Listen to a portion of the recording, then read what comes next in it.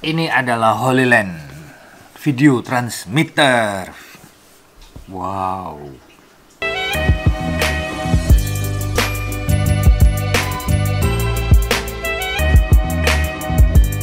Oke, pemirsa, jadi video transmitter itu fungsinya adalah mentransmit gambar video secara live kalau dalam dunia drone itu FPV.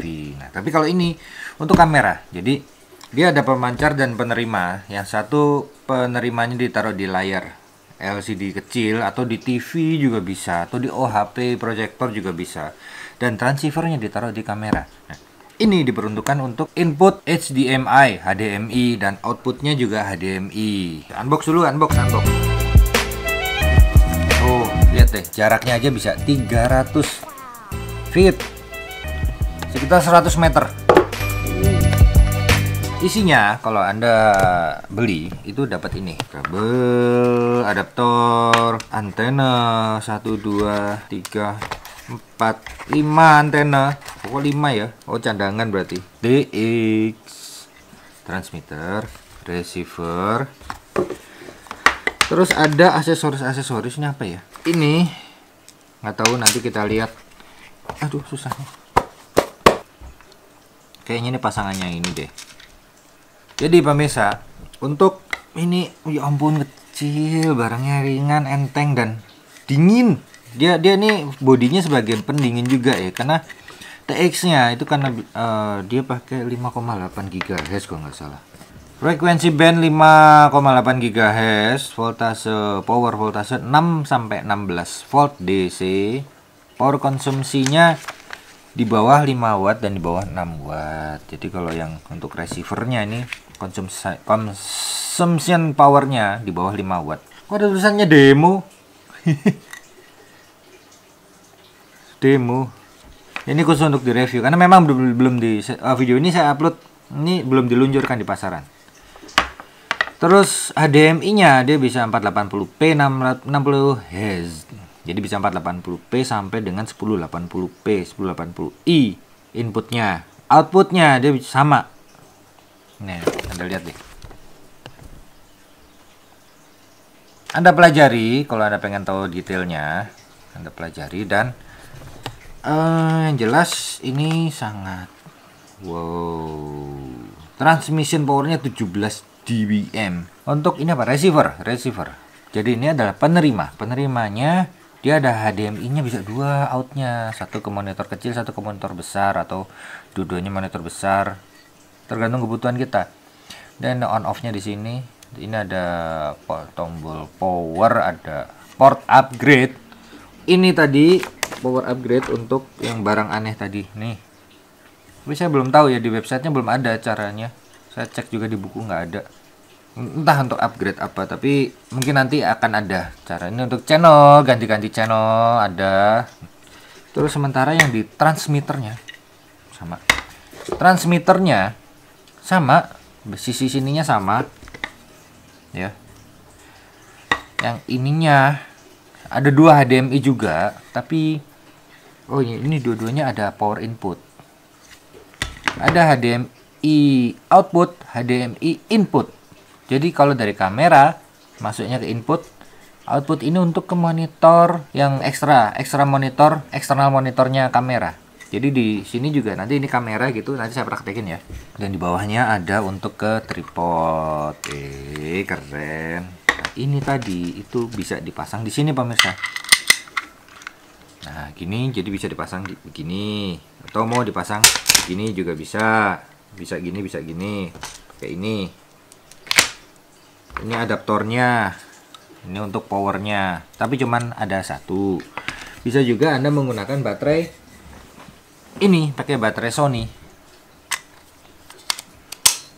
Hmm.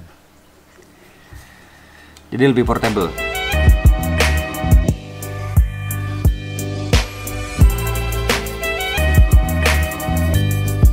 Harus begini katanya nggak boleh lurus gini antenanya ini sangat berguna pemirsa untuk uh, anda yang mau membuat film syuting film itu kan sutradara nggak nggak selalu harus ada di dekat kamera bisa jadi kameranya di luar sana sutradaranya di dalam sini dan kalau pakai kabel kan repot nah maka ada ini Jadi kamera sana sutradara di sini pakai layar monitor tinggal konsentrasi sama layar. Kamera roll, action. Di sana tapi adegannya di luar nggak di dalam sini. Tuh kebanyakan kalau orang perfilman seperti itu. Eh, kita coba aja.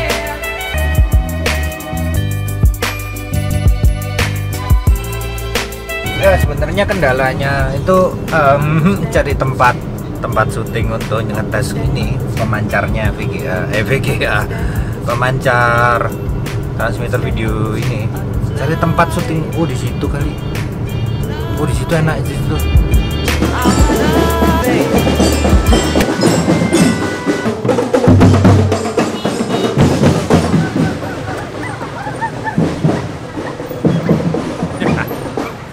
ya rame-rame. Ya mau syuting ada suara drum band kan ya nggak bisa syuting tunggu dulu. Lucu tuh apa wis sudah anak-anak SD. Oh. Oh.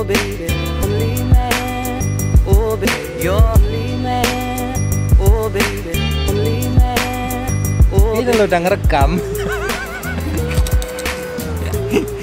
Wajah-wajah polos pemirsa ya kasihan. Cuman dia ngabisin nasi sampai dua piring tuh lihat. Entah kapan gemuknya. Ini saya udah siapin semua alat-alatnya untuk praktek ya. Eh, ini praktek kita akan mencoba menggunakan Mars 300 dari Holy Land. Ada monitornya juga ada kameranya. Tapi untung ada lagi kamera itu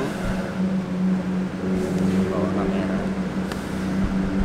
Jadi modelnya itu bukan ini kamera modelnya itu. Terus apalagi perlengkapannya ini baterai. Baterai. Ini akan saya pasang untuk ini. Ini di sini untuk tra- trans transmitter. Receivernya pakai adaptor karena saya cuma punya satu ini mahal 350.000 Eh, kebetulan Holy Land tidak menyertakan kabel. Ada micro USB eh micro HDMI sama ke HDMI jadi yang micro HDMI ya udah lihat aja lah. Kita coba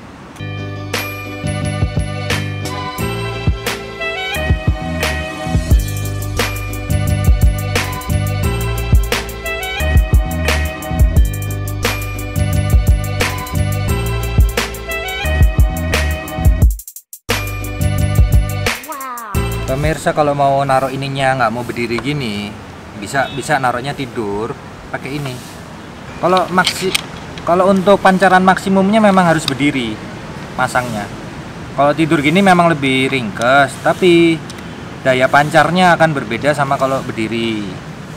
Ya kan? Kalau tidur kan sama berdiri beda. Ojo guyu. tapi ininya kurang saya lebih prefer gini aja. Jadi agak-agak kelihatan norak nggak apa-apa. Yang penting kan kualitas. Ini masuk dulu ke sini. Sini yang HDMI besarnya ke HDMI in. Ini receiver.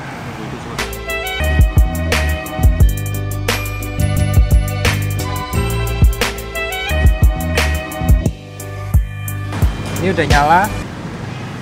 Ini yang belum nyala ini saya juga nggak punya baterainya karena baterainya juga pakai gini. So, sama semua baterainya ini ini itu baterainya sama. Tapi yang ini bisa pakai power bank. Ini artinya masih searching pemirsa belum connect ke sana? Tuh pemirsa ada. Kelihatan itu kameranya ya.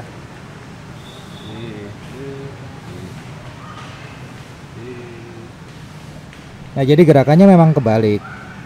Kan tangan kiri saya di sana sebelah kanan. Ya memang begitu. Bukan bukan kesalahan ininya bukan. Ini sip. Karena mau dicoba jalan jauh ya.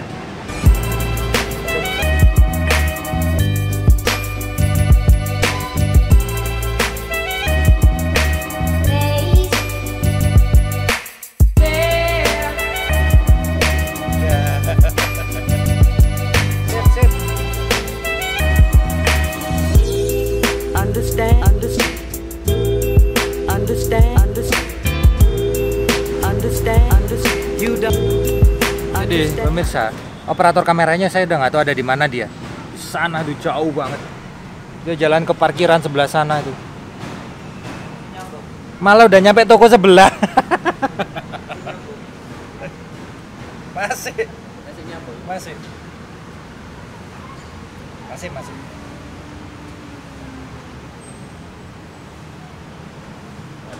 Ya, wis.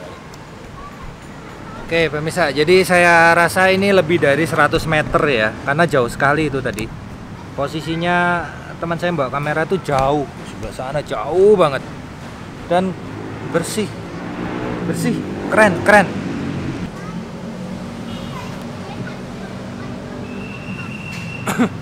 Nah, cuman di sininya nggak kelihatan.